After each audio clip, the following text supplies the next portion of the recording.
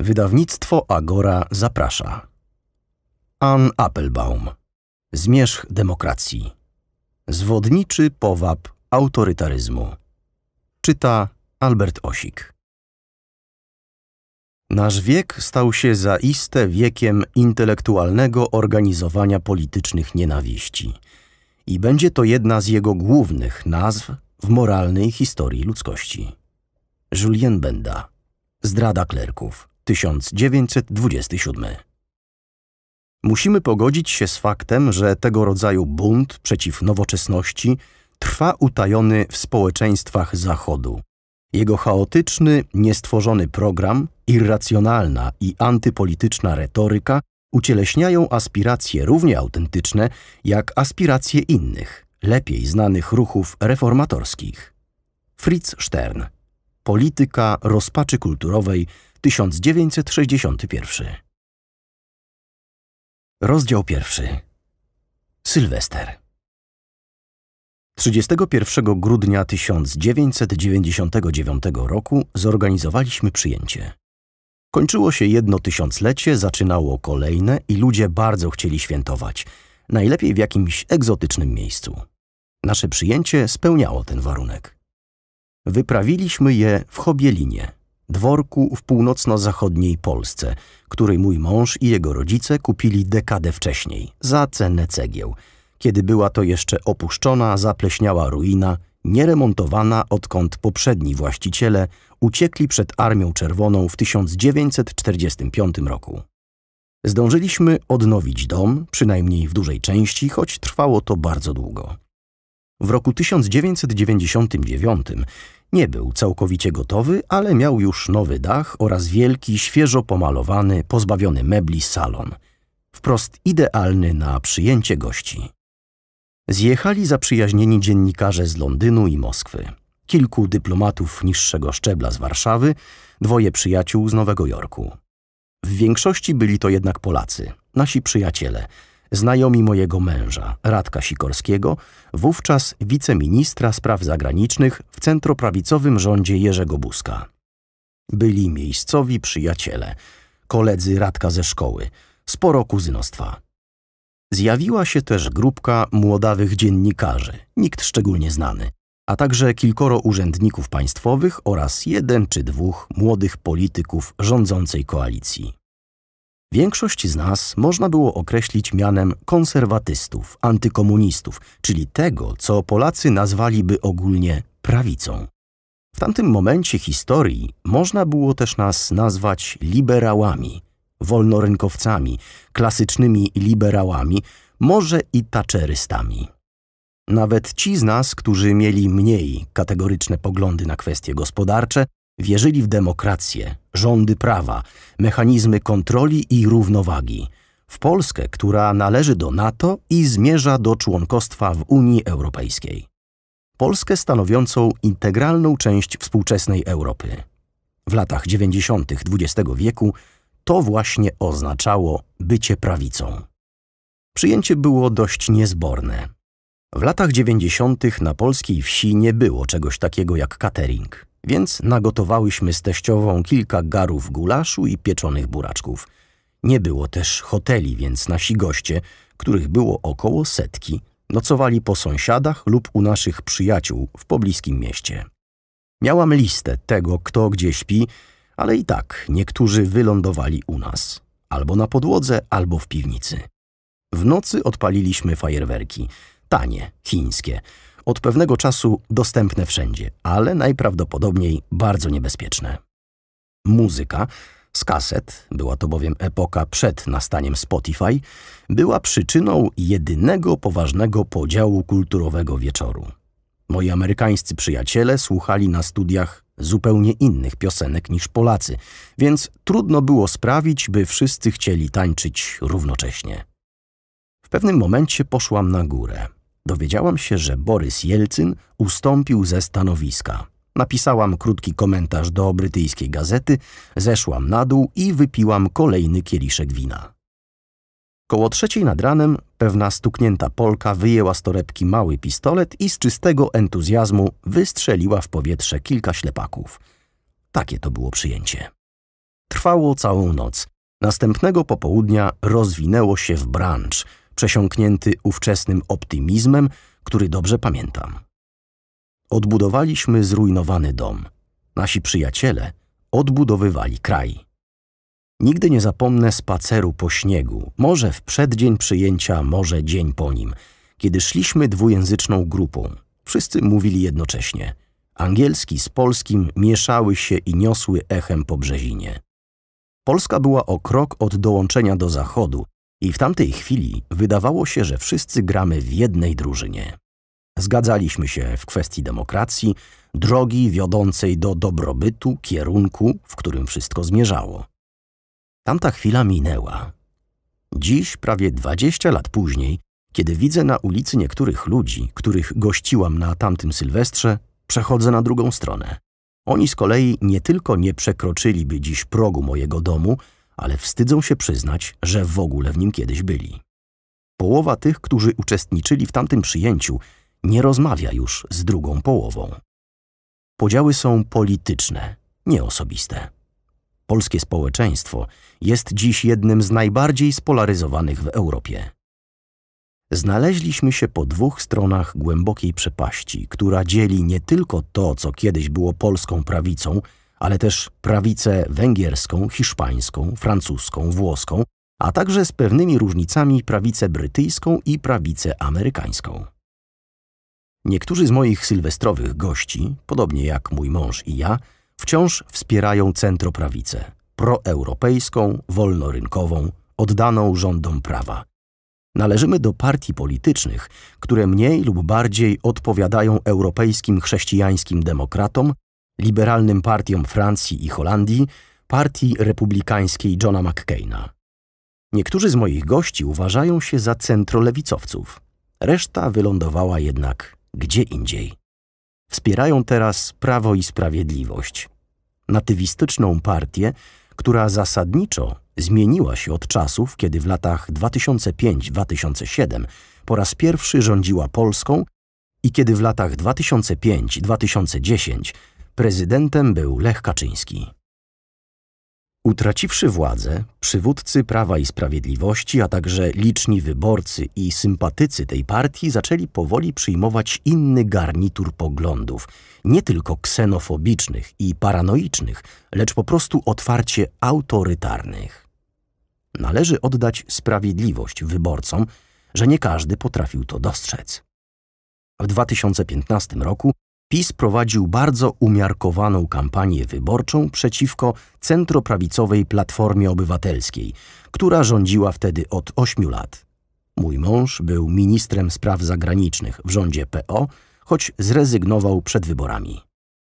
A w ostatnim roku kierowała nią słaba premierka. Można zrozumieć, że Polacy chcieli zmiany.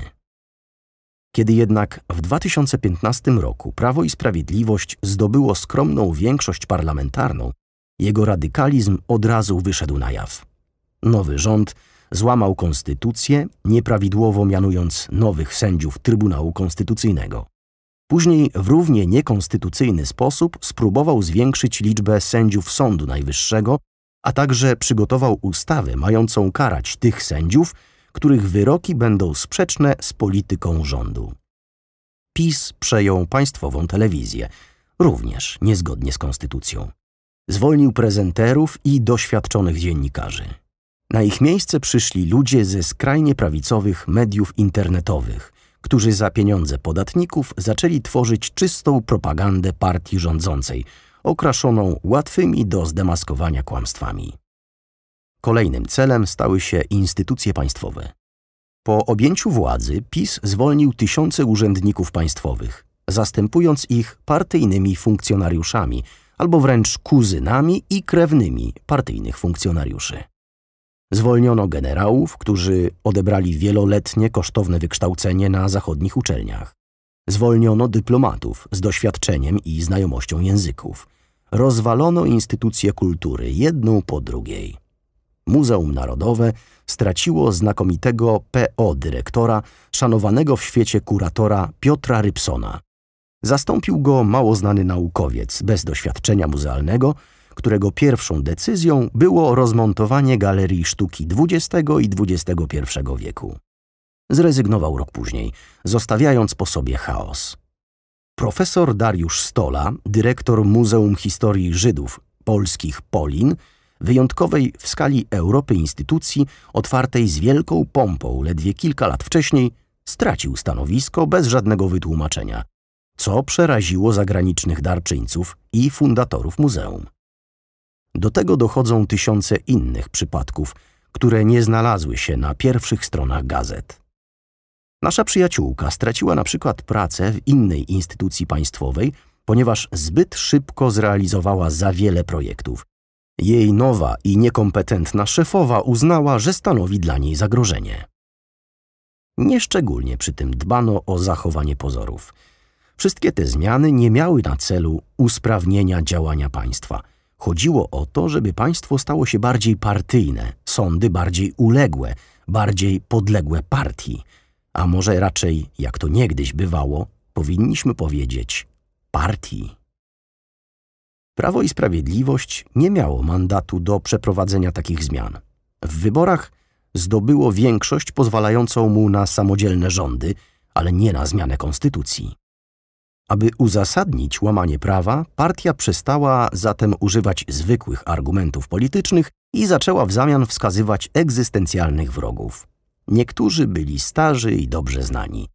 Po dwóch dekadach dialogu i pojednania polsko-żydowskiego, po tysiącach książek, filmów, konferencji, zbudowaniu tego olśniewającego muzeum, polski rząd zyskał międzynarodową niesławę, kiedy przyjął nowelizację ustawy o Instytucie Pamięci Narodowej, ograniczającą debatę na temat Holokaustu.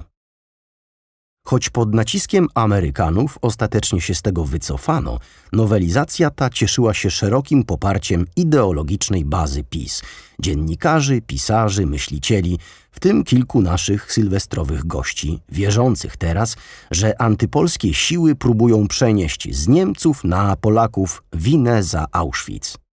Później partia wdała się w bezsensowny spór z rządem Izraela, wyglądający jak zaplanowany po to, by w Polsce poruszyć gniewnych nacjonalistów głosujących na PiS, a w Izraelu gniewnych nacjonalistów głosujących na Benjamina Netanyahu. Znaleziono też nowych wrogów. Po krótkim okresie atakowania muzułmańskich imigrantów, co nie jest łatwe w kraju, gdzie muzułmańskich imigrantów prawie nie ma, PiS skierował swój gniew na osoby homoseksualne. Tygodnik Gazeta Polska kilkoro prominentnych dziennikarzy tego czasopisma było u mnie na tamtym Sylwestrze, wydrukował naklejki Strefa wolna od LGBT, które czytelnicy mieli umieszczać na drzwiach i oknach swoich mieszkań. Przed kolejnymi wyborami parlamentarnymi w październiku 2019 roku TVP wyświetliła film dokumentalny Inwazja, pokazujący tajny plan LGBT niszczenia Polski od środka. Kościół katolicki, niegdyś neutralna instytucja i apolityczny symbol narodowej jedności, zaczął promować to samo. Arcybiskup Krakowa Marek Jędraszewski, zasiadający w fotelu zajmowanym kiedyś przez papieża Jana Pawła II, osoby homoseksualne określił w kazaniu mianem tęczowej zarazy, która zastąpiła czerwoną zarazę komunizmu. Kazanie to spotkało się z aprobatą polskich władz choć potem zostało usunięte z YouTube przez moderatorów. Uznano je bowiem za mowę nienawiści. Taki obrót spraw doprowadził do sytuacji, w której z częścią moich ówczesnych gości trudno mi się dziś porozumieć. Z Anią Bielecką, niegdyś jedną z moich przyjaciółek, matką chrzestną jednego z moich synów, nie zamieniłam ani słowa od kwietnia 2010 roku. Parę dni po tym, jak samolot z prezydentem Lechem Kaczyńskim na pokładzie rozbił się pod Smoleńskiem, zadzwoniła do mnie w histerii, ale o tym za chwilę. Bielecka jest architektką. Przyjaźni się, a przynajmniej przyjaźniła, z najsłynniejszymi artystami swojego pokolenia. Lubi, a przynajmniej lubiła, sztukę współczesną. Jeździła dla przyjemności na wieneckie biennale. Kiedyś powiedziała mi, że na biennale lubi patrzeć nie tylko na sztukę, ale i na ludzi. Wszystkie te artystowskie damy w szykownych strojach. W ostatnich latach zbliżyła się jednak do Jarosława Kaczyńskiego, prezesa Prawa i Sprawiedliwości, brata bliźniaka nieżyjącego prezydenta. Dziś Ania, która znakomicie gotuje, regularnie urządza u siebie obiady dla Kaczyńskiego, w trakcie których omawiana jest obsada rządowych stanowisk. Słyszałam, że to jej pomysłem było mianowanie ministrem kultury Piotra Glińskiego, który przeprowadził później szturm na polskie muzea. Parę lat temu, kiedy byłam w Warszawie, próbowałam umówić się z Anią, ale bezskutecznie. Wysłała mi SMS o treści. O czym mamy rozmawiać? I na tym kontakt się urwał. Inna z gościń, ta, która strzelała ślepakami z pistoletu, rozstała się ze swoim mężem Brytyjczykiem. Jej ekscentryczność zmieniła się w coś innego i dziś chyba większość dnia spędza jako pełnoetatowy troll internetowy, promując szeroką gamę teorii spiskowych, nierzadko zjadliwie antysemickich. Tweetuje o odpowiedzialności Żydów za Holokaust, któregoś razu wkleiła średniowieczny angielski obraz przedstawiający krzyżowanego przez Żydów chłopca z komentarzem a dziwią się, że ich wygnano odnoszącym się do wygnania Żydów z Anglii w 1290 roku. Śledzi i udostępnia posty czołowych gwiazd amerykańskiej alt-prawicy, których język powtarza i propaguje. Trzecia gościni, dziennikarka Anita Gargas. Spędziła ostatnie 10 lat na śledzeniu najróżniejszych teorii spiskowych na temat śmierci Lecha Kaczyńskiego w katastrofie smoleńskiej – jednej za drugą, za każdym razem oferując inne wyjaśnienie. Pracuje w Gazecie Polskiej, która rozdawała homofobiczne naklejki. Czwarty gość, Rafał Ziemkiewicz, zdobył rozgłos jako przeciwnik międzynarodowych organizacji żydowskich. Mówił o Żydach chciwe parchy. Żydowskie organizacje nazywał szantażystami i żałuje swojego niegdysiejszego wsparcia dla Izraela. Niesława, jaką zyskał za sprawą tego języka, tchnęła jednak nowe życie w jego cokolwiek przywiędłą karierę i teraz regularnie pojawia się w kontrolowanej przez partię rządzącą TVP. Wiem też, że z powodu swoich poglądów politycznych niektórzy z moich byłych przyjaciół oddalili się od swoich dzieci. W kilku przypadkach owa przepaść jest bardzo głęboka. Jedna z moich przyjaciółek, wierna wyborczyni otwarcie homofobicznej partii, ma syna, który jest gejem. To jednak też typowe. Podziały rozbijają nie tylko rodziny, ale i przyjaźnie. W pobliżu Chobielina mamy sąsiadkę, której rodzice słuchają prorządowego, katolicko-spiskowego Radia Maryja. Powtarzają słyszane tam mantry, wrogowie radia stają się ich wrogami. Straciłam matkę – powiedziała mi kiedyś sąsiadka. Ona żyje w innym świecie. Aby w pełni wyjawić swoje miejsce w tej opowieści, muszę dodać, że część tego spiskowego myślenia dotyczy mnie. Mój mąż był przez półtora roku ministrem obrony w pierwszym koalicyjnym rządzie PiS. Później jednak zerwał z tą partią i przez siedem lat był ministrem spraw zagranicznych w koalicyjnym rządzie centroprawicowej Platformy Obywatelskiej. W 2019 roku wystartował w wyborach do Parlamentu Europejskiego i zdobył mandat, ale obecnie nie należy do kierownictwa PO. Mieszkam w Polsce z przerwami od 1988 roku. Dużo czasu spędziłam w Londynie i Waszyngtonie, pisząc książki historyczne, pracując jako dziennikarka dla brytyjskich i amerykańskich gazet. Jak na polskie standardy jestem dość egzotyczną małżonką polityka choć do 2015 roku wzbudzałam raczej zaciekawienie niż agresję. Nigdy nie doświadczyłam bezpośredniego antysemityzmu, nigdy nie czułam wrogości. Kiedy wydałam polską książkę kucharską, zamierzając między innymi przełamać negatywne stereotypy funkcjonujące w świecie na temat Polski, reakcja w kraju, nawet wśród polskich kucharzy, była głównie pozytywna, nawet jeśli niektórzy byli zaskoczeni. Starałam się też trzymać z dala od polityki. Przeważnie unikałam polskiej telewizji, w której występowałam tylko po to, żeby mówić o swoich książkach. Kiedy po zwycięstwie Prawa i Sprawiedliwości w zagranicznych gazetach zaczęły pojawiać się teksty krytyczne wobec rządu, obwiniono o to mnie. znalazłam się na okładkach dwóch prorządowych czasopism w sieci i do rzeczy. W obu pracowali nasi byli przyjaciele. W roli potajemnej żydowskiej koordynatorki międzynarodowej prasy kierującej akcją szkalowania Polski. W jednej z nich, żeby wszystko wyglądało bardziej złowrogo, podano wymyślone szczegóły na temat mojej rodziny. W wiadomościach TVP pojawiły się podobne doniesienia, w tym całkowicie zmyślone opowieści, że Prawo i Sprawiedliwość zwolniło mnie z jakiejś pracy, której w rzeczywistości nigdy nie miałam. Z czasem przestali o mnie pisać. Krytyczne opinie o Polsce w międzynarodowej prasie stały się tak powszechne, że jedna osoba, nawet żydowskiego pochodzenia, nie byłaby w stanie ich samodzielnie koordynować, choć oczywiście od czasu do czasu temat ten wraca w mediach społecznościowych. Podczas kampanii do Europarlamentu współpracowników mojego męża częściej pytano o mnie i moją antypolską działalność niż o niego. Bez względu na to, czy mi się to podoba, czy nie, jestem bohaterką tej historii. Kiedy wszystko się zaczęło, poczułam coś w rodzaju déjà vu. Przypomniałam sobie słynny dziennik rumuńskiego pisarza Michaila Sebastiana z lat 1935-44. Jest to kronika jeszcze radykalniejszych zmian, jakie zaszły w jego ojczyźnie. Sebastian miał żydowskie pochodzenie, ale nie był religijny, tak jak ja. Większość jego przyjaciół, tak jak moich, była prawicowcami. W dzienniku pisze o tym, jak przyciąga ich faszyzm.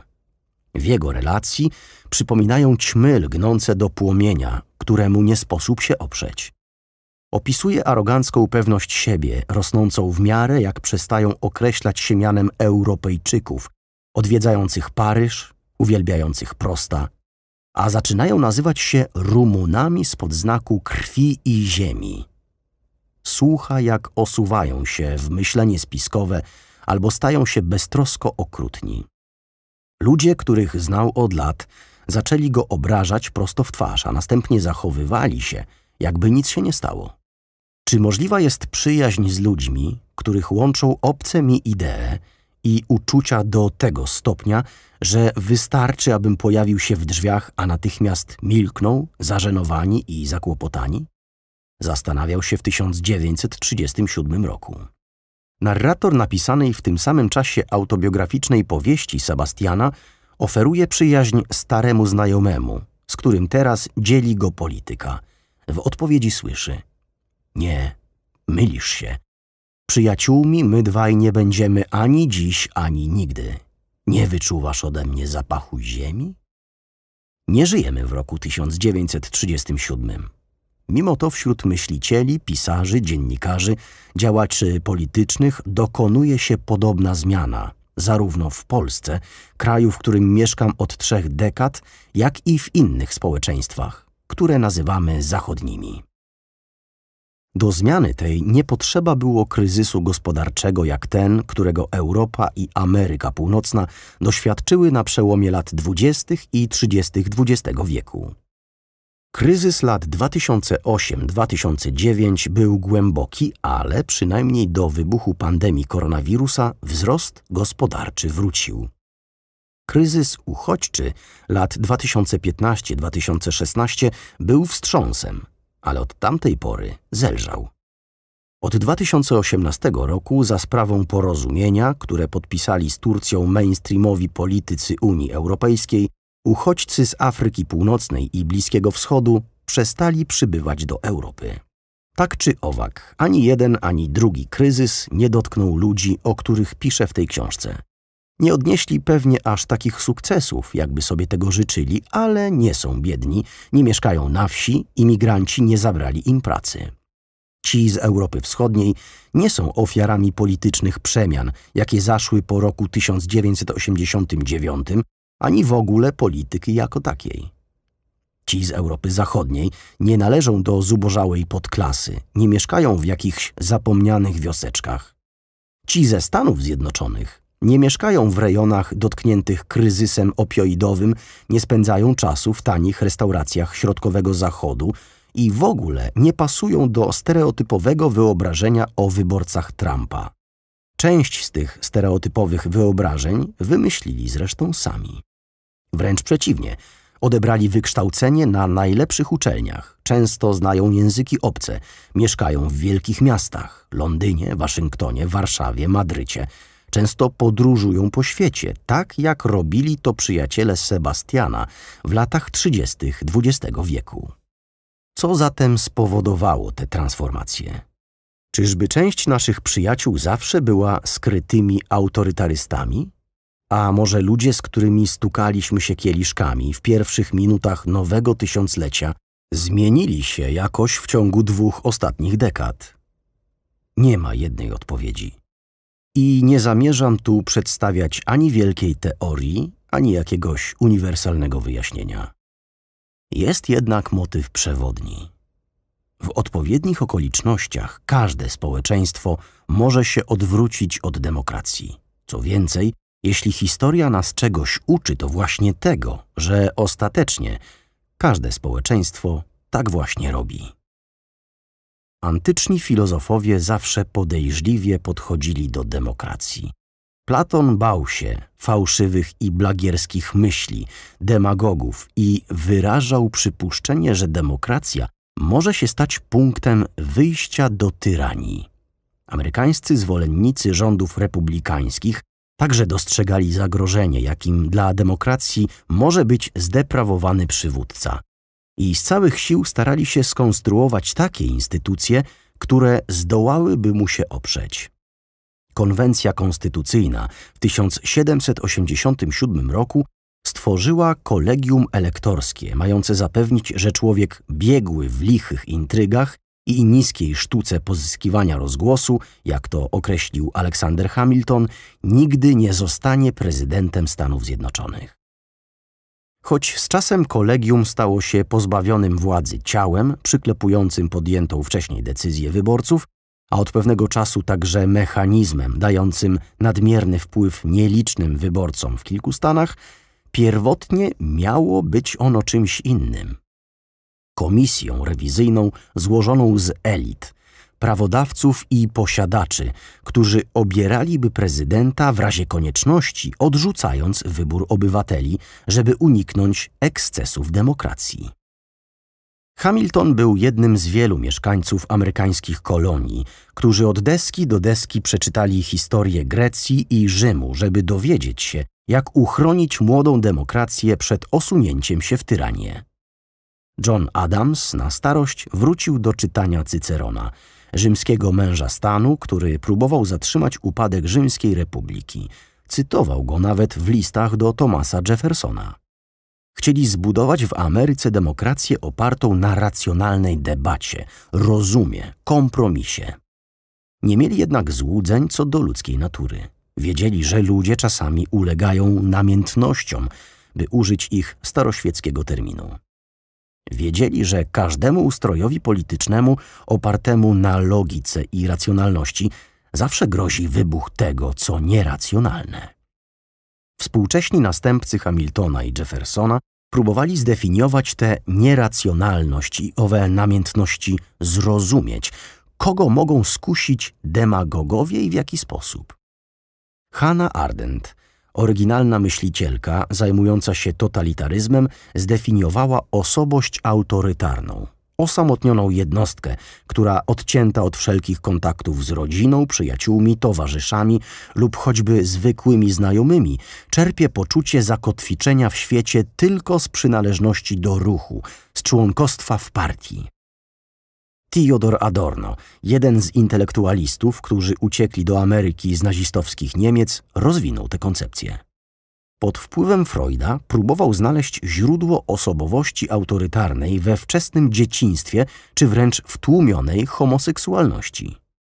Karen Stenner, ekonomistka behawioralna, która 20 lat temu zaczęła badać cechy osobowości, dowodzi, że w każdym kraju mniej więcej jedna trzecia populacji ma coś, co ona nazywa predyspozycją autorytarną. Określenie to nie tak sztywne jest użyteczniejsze niż osobowość.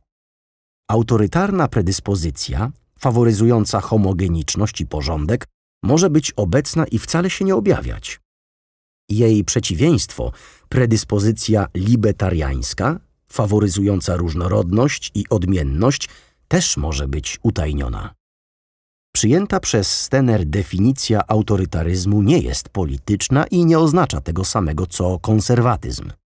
Autorytaryzm przemawia do ludzi, którzy nie radzą sobie ze złożonością świata i w tym instynkcie nie ma niczego inherentnie lewicowego czy prawicowego. Jest antypluralistyczny. Podejrzliwy wobec ludzi o innych poglądach. Alergicznie reaguje na zażartą dyskusję.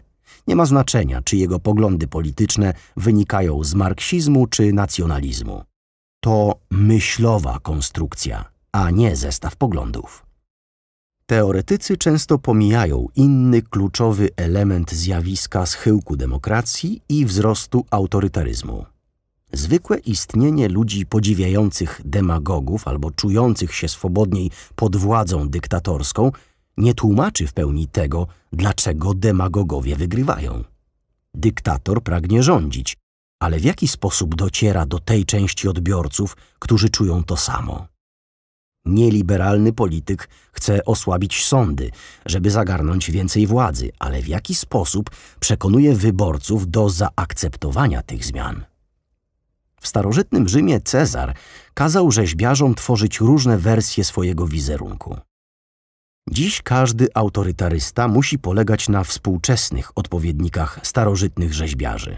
Pisarzach, intelektualistach, pamflecistach, blogerach, spin-doktorach, producentach telewizyjnych, twórcach memów, którzy sprzedają jego wizerunek opinii publicznej. Autorytaryści potrzebują ludzi, którzy będą zachęcać do zamieszek albo dokonają zamachu stanu. Ale potrzebują też ludzi posługujących się skomplikowanym językiem prawniczym, potrafiących tłumaczyć, że łamanie konstytucji albo naginanie prawa to posunięcie należyte. Potrzebują ludzi, którzy dadzą głos żalom, będą manipulować niezadowoleniem, kanalizować gniew i lęk, snuć wizję innej przyszłości. Potrzebują członków wyedukowanej elity intelektualnej, innymi słowy, tych, którzy pomogą wypowiedzieć wojnę reszcie wyedukowanej elity intelektualnej, w tym własnym znajomym ze studiów, kolegom, przyjaciołom. W swojej książce z 1927 roku, zatytułowanej Zdrada klerków, francuski eseista Julien Benda zaobserwował i opisał autorytarne elity na długo zanim ktokolwiek zrozumiał, jak są ważne. Wyprzedzając Arendt, skupił się nie na osobowościach autorytarnych jako takich, ale raczej na konkretnych ludziach wspierających zwrot autorytarny, który następował wówczas w całej Europie, zarówno na lewicy, jak i na prawicy. Opisywał skrajnie prawicowych i skrajnie lewicowych ideologów promujących albo namiętność klasową w postaci radzieckiego marksizmu, albo namiętność narodową w postaci faszyzmu, zarówno jednych, jak i drugich oskarżając o to, że zdradzili główną powinność intelektualisty poszukiwanie prawdy na rzecz konkretnej sprawy politycznej. Tych upadłych intelektualistów nazywał sarkastycznie klerkami, słowem, które ma wspólny rdzeń z klerem. Już 10 lat przed stalinowskim wielkim terrorem i 6 lat przed dojściem Hitlera do władzy Benda bał się, że pisarze, dziennikarze i eseiści zmienieni w politycznych przedsiębiorców i propagandystów sprowokują społeczeństwo do aktów przemocy. Tak się też stało. Jeśli nastąpi dziś upadek demokracji liberalnej, nie będzie wyglądał tak jak w latach dwudziestych i trzydziestych minionego wieku –